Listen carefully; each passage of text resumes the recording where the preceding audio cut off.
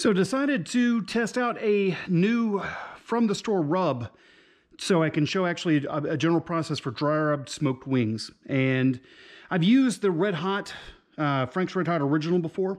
It's good. It's actually good on things like even rice, french fries, you name it. Um, not terribly hot. I would say that the Owen's hot wing spice is definitely much more robust, much more piquant. Uh, but this is, you know, it's kind of like Frank's Red Hot sauce in a powdered form. Um, the reason for a dry rub is because I actually do prefer it. it. It's one less step, and I think it responds really well to a smoke flavor. That way, that I'm not a big fan of, of having wings drowned in sauce, but just saw this as well. Um, Frank's Red Hot Stinging Honey Garlic. And it tastes interesting. It's actually got a, an interesting mix in here. Apparently, it's got some soy sauce powder. It's got garlic, of course. Um, it's it says has some some molasses, so it can again that brown sugar feel. Not super spicy, a little bit of back and heat, but the flavor in it is. I think it could be interesting. And I thought about trying this on maybe just some chicken thighs or whatever else, but you know, wings are a go-to, and especially with it, you know, even though uh, there's no real, no real NFL or anything else right now going on, um, who doesn't love a good wing, especially on a weekend? So I've already taken the liberty of doing a full family group of wings layered here in this bus tub. And I've got it with a little bit of Lawry's seasoned salt, but the, uh, the rub on both sides. And now I'm going to actually prep this for the, uh, for the new what, stinging honey garlic. So breaking down wings, you know, sometimes I actually do leave the wing tips on. I'm one of those people who, uh, you know, if I, especially if I go out for wings, uh, Hooters, for example, I miss it in the days when they actually used to do that. And part of it is just, again, it, it's one more thing to gnaw on. Um, I do keep the wingtips when I do break them down all the way for use in stocks. But as far as cooking in the smoker, one of the big reasons I do remove these about 50% of the time is they do have a tendency to burn, especially if there's any sugar in the rub. So my logic would be that, you know, kind of an Occam, Occam's razor standpoint, simplest answer is usually the right answer. Uh, is it worth the flavor to have that that bit of singeing, that that burnt? Uh, depends on who I'm feeding. And so since I'm going to be sharing these wings tomorrow with somebody, I figure it is a nice thing to do to give them not only something that is attractive to eat, but also that has you know, I just from start to finish, just a, a, nice flavor. So we'll see if these rubs do it. Typically I make my own, and I probably will make another wing video in the future where I use one of my, maybe my ancho brown sugar rub or some of the other things that I typically like to do. But for the store-bought rubs, this is a nice test of a new product, which that's kind of what this will be, but also to demonstrate the process as I said before. So let's get these things seasoned up. Okay, so just to keep things moving along, I've actually uh, gone ahead and lightly seasoned these things with a little bit of Lawry's, very lightly, because there is already salt in this rub. Um, it's I've already seasoned the, the, flip side of things as well. Um, it is a very loose rub, and you can see on here again the way they market it. Again, this is pretty much a mild rub. Um, the Red Hot itself, I still wouldn't consider to be terribly hot, but it is enough to at least, you know, if you're sensitive to that kind of stuff, break a sweat while you're eating. So now it's just a matter of seasoning, and, it, and again, it's a very loose rub, almost like uh, that, you know, that that true garlic powder as opposed to granulated garlic. Um, I'm laying it on reasonably heavy just because I want it to be able to soak in a little bit overnight. This is going to run for about 14 hours in the refrigerator. Um, I'm not going to be doing any sauces to these. I'm not going to be doing any basting. I'm not using the baking, baking soda, or I'm sorry, baking powder trick to crisp these things up. This, the method I use on my pellet smoker, on my Blaz'n Grid Iron, is typically sufficient to get a nice crisp skin, even in the absence of, let's say, a high sugar content in the rub or uh, the baking powder or rubbing them with olive oil. So again, these things, um, they are rinsed before I actually cut them. You can see again that I'm, I do want to get a little bit more on some of these, um, giving a healthy coating. It is, like I said, when it's cakey, I actually tried patting them a little bit and found that my fingers gummed up very quickly. I tried it with both a glove and uh, bare hand, and I found that it, it did, it got so thick and cakey that it wasn't actually adhering to it. It was adhering to my hand and, and not these. So I figured that's good for now. Um, my my frustrate the only frustration I have with it so far is that because it's so loose, you shake too hard and actually uh, it feels like the entire thing is going to come out. I don't really think there's a problem with this. Again, I'll give these a good shake tomorrow before they actually go in the smoker. So the basic plan will be to let these run again overnight in the refrigerator. I am going to use some industrial uh, shrink wrap to cover the top of it so it can actually again be in a in a decent environment. The salt in there should act as a little bit of a dry brine. Sometimes I do a wet brine on these things. Uh, you know, I make my own typically, and I do love the flavor of it. But for wings, four to six hours is really all you need. And these things I, I think should be plenty juicy based on the method that we're going to be using tomorrow. So they'll go into the smoker at a low temperature for a bit. Uh, typically, I use a 175 run for 45 to 50 minutes. Let them get a good smoke flavor. Rotate the wings, and then go up to typically 350, 375, depending on how quickly I want them to cook. Uh, tomorrow, again, that 350 to 375 range will be about 45 additional minutes. It'll be by look as much as it is by touch in terms of the skin. And that's it. Again, it can't get much more simple than this, but the process is replicable no matter what style you use, whether you want to sauce them, whether you want to actually shellac them, you know, baste them while they're while they're smoking and let the sauce tack up a bit. Really is up to you. Now, some people do prefer the smoked than fried method. To me, it's an added step, and frankly, why bust out a deep fryer if you don't have to? So I've had good luck with this. I love the flavor profile. We will see if this makes it into a rotation. Nine times out of 10, I use my own rubs, but this, I saw this on the shelf and I couldn't really resist. And it's got a, a, a very interesting aroma. So we will pick this back up tomorrow and see where it leads us. So it's time to get the wings on the smoker. These have had an overnight ride and I do think I'm going to add just a wee bit more seasoning. Again, I, I, have no idea how strong this flavoring is, but I don't think it can hurt. These, of course, are those uh, stinging honey garlic seasoning blend from Frank's Red Hot. And I'll probably do the same thing with the traditional hot wings flavor on the bottom. This may be a horrible mistake adding more seasoning, but such is the price of science, I suppose.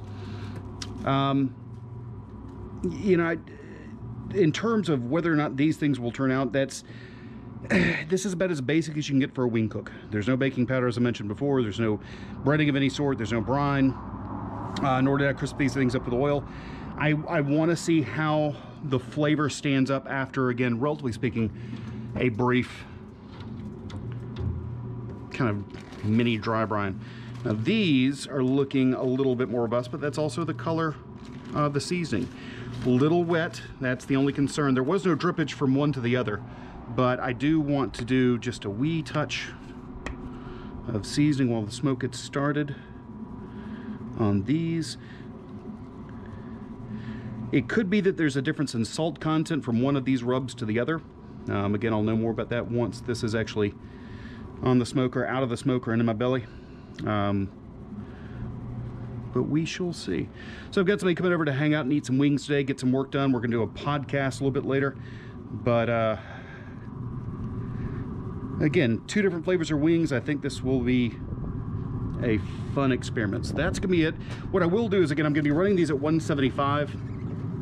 Um, and let these go for approximately 45 minutes. What I'm going to do after that is rotate the wings, bump the temperature up to 350 and at that point I'll probably rotate them one more time at maybe the 25 minute mark and make sure that there's even heating.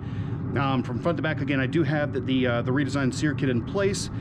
It does provide a little bit more upflow both in front and back. There's a, a bigger gap uh, compared to the, re the regular drip pan um, I have noticed a little bit of singeing on the very back row as a result of this. So I've tried to directly center it and see if I can control that through a rotation. I still have my old drip pan. Um, that thing was, was damn near bulletproof when it came to wings. I don't mind this. It's a little bit more labor intensive, but it's a lot easier than swapping out drip pans. And I really do like the new design. It's, it's heavy as hell. So Blaz'n did a great job in terms of that redesign. So again, let these go. Obviously two very different styles of wings. And uh, hopefully I can give you a recommendation on whether or not the stinging honey garlic, and you know, again, for that matter, the original Frank's Red Hot seasoning blend, if these are worth your time. So we'll be back in maybe about 45 minutes. Okay, so it should be time to rotate the rings, they've been picking up smoke at 175 for just over 45 minutes, like 46, 47. Um, you know, these are hot. If you do the insulated glove trick, it's a little bit easier. Typically, I wear both, but it's kind of hard to control an iPhone at the same time. So we'll put these here for now. We'll rotate the rings, wings completely. And get these in for another 45 minutes once I bump the temperature. So in terms of trying to block out the sun for you guys, um, the color on these things is good. Skin is actually starting to tighten up already. These are very pale wings. I almost wish I'd put some cracked pepper over the top of the honey, uh, the honey and garlic wings, but again, if they taste good, it's while you eat with your eyes first, we'll see how it tastes. So again, once we revisit these, you'll see that the skin will be crisping up quite nicely. There's not a huge amount of sugar in these rubs, but the 350 temperature does, in my opinion, more than enough to, uh, to do what we need. So back in 45. All right, picking back up with the final part of the cook. Uh, I have rotated them once at the midway mark, did about 45 to 50 minutes, so roughly 25 minute mark is when I came in. And I think that even though the sun is probably kind of skewing this, you'll be able to see them once they're inside under better light. Uh, they look great. So we will get these things separated. Probably could have used a bit more seasoning as on some of the parts where maybe some of these inadvertently touched. The look and, again, the aroma of these, the crisp skin, that's that's what you can do even without the the benefit of baking powder is that again you're going to see that this is a nice tight crisp skin. The wings are now finished product. We've got the honey garlic over here and the regular frank's red hot over on this side. Um, again in terms of skin being crisp you can hear hopefully that uh, they are nice and crisp so we'll see how things go let's try the drums first this is the hot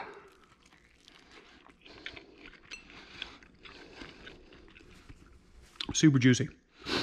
Um, as far as the look for it, you know, you're not going to get really a smoke ring, obviously, on, on wings. Flavor is, is really good. Not hot, though. Which, based on my past experience with the Frank's Red Hot Powder, I kind of anticipated. I do want to put just a couple of drops of crystal hot sauce on the flat and see what that does. Nice flavor. Could maybe do with a bit more salt, but not bad. Let's see here. All right. With the crystal hot sauce.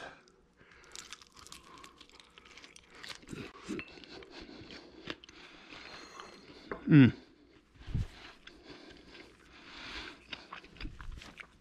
Honestly, the Frank's Red Hot Powder would probably be best tossed with maybe their Frank's Red Hot. They've got a pre-made wing sauce or making it yourself with butter and Frank's Red Hot. I'm a crystal guy. Just a couple drops in there.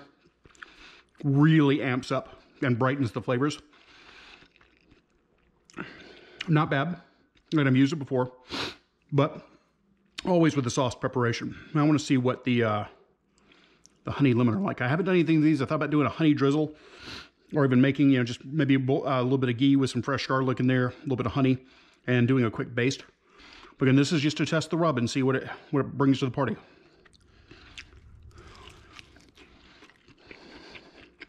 Again, from pasta's perspective, super juicy.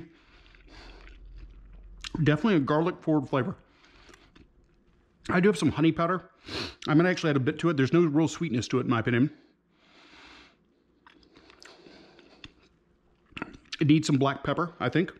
It's not bad. I think as a base for something and then adding a few other spices, including a little bit of salt, a little black pepper, it'd be perfect. But then again, tossed in a honey garlic glaze or sauce, that would be very good. There's almost a, in the background, there's almost a mustard flavor too. Interesting. I don't think mustard was on the label of ingredients. So let's see what happens when I put a little bit of crystal on the honey garlic. And again, for anybody out there who's a, a hot sauce fan, you're going to say, well, of course, anything tastes better with hot sauce. I can't disagree with you, but let's see what happens.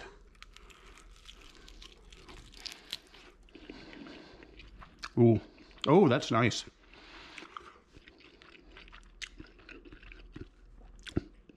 With the hot sauce, I actually like the honey garlic better than I do the Frank's Red Hot. Wow. It really, it opens up the flavors. That's nice. Um, will I buy it again? Based on the hot sauce? Yeah. I'm a, I'm a fan of garlic anyway. It's not hot, even with the hot sauce, and this is, a, you know, Crystal is a mild hot sauce. If you've never used it, um, you know, again, it, it's a vinegar forward and cayenne sauce. I don't think it's one that's meant to heat you up. They do have a garlic crystal that might even be better on that. I just don't have any in my pantry right now. Overall, you can probably make better yourself if it's part of a larger rub. Again, adding a little bit of salt, a little black pepper to the original blend, and maybe adding either some sweetness to it or adding, again, a garlic glaze even some lemon juice mixed with lemon pepper, that would be amazing. Overall, it's good. It needs more heat. I don't, I don't think that's uh, for anybody except with the most mild of palates. That to me would be a mild wing at any wing joint. That's not even, there's not even a burn in your mouth. It's just a nice tingle on your lips. That's about it. Nothing in the back of your palate. I consider a success. They're great. I wouldn't consider it my go-to by any means. I think that the Owen's products for their hot wing, their buffalo wing powder is much better in terms of heat, in terms of depth of flavor. But with just a few drops of hot sauce, it transforms it to the point where you don't need to just do a full glaze. You can do it wing by wing. For people who don't like to get their hands messy or who don't like an overly sauced wing, and I fall in the category of, of liking minimalist when it comes to tossing wings in a sauce, good. Not great, good. But that's an easy tutorial on how to do a quick smoked wing that will give you a nice crispy exterior. Again, 45 minutes at 175 to get some good smoke on them. Another 45 minutes, nearly 50 minutes at 350. Um, I'm still going to have to jerk, you know, jimmy around inside a bit in terms of rotating the wings to make sure that none get too crispy on that back row. If I keep using the direct sear kit as my default setting, if I go back to the old uh, the old drip pan for this type of prep, it's not a problem whatsoever on the Blaz'n Grid Iron.